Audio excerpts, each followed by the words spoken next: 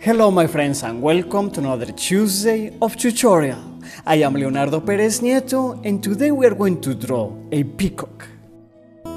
We begin by sketching the head and the neck. And little by little we do more detail, like the feathers on the head and the eye. With color pencils we start doing its majestic plumage. The list of materials is in the information below the video. The shadows and the dark feathers on the head and neck, we can do them with a dark blue.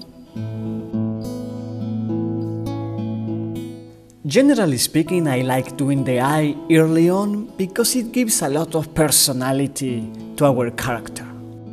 That little white sparkle is important. We mix some medium blue light blue and greenish blue to achieve the gamma of tones. I place some more light and dark tones to the eye to give it more volume. Good! And with the dark blue we can delineate and give some accent to the feathers. The beak is of a grey color. We can give it some light with the white and the little hole with black. We continue working on the feathers in this way. I like it how it is coming.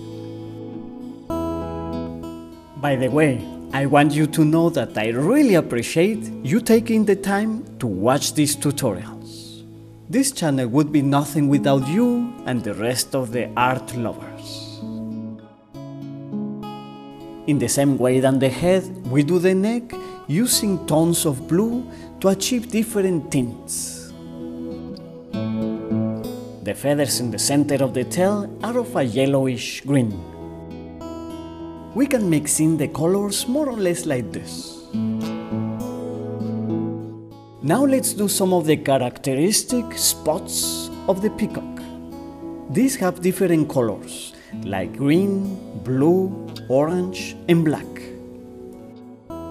Very well, they have more or less an oval shape and they, of course, follow the direction of the feathers. We should give it more detail as if they were a sort of hair, soft hair. The background of this drawing will be the green of the tail itself. Let's give it some texture. On this background, we delineate the main feathers. This is really fun. We do the rest of it in the same manner.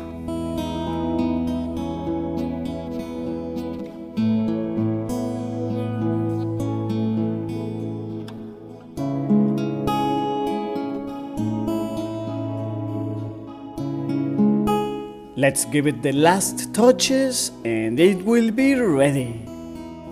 If you enjoyed it, please give it a like, share it to your friends and subscribe to Fine Art Tips. And I will see you on Tuesday.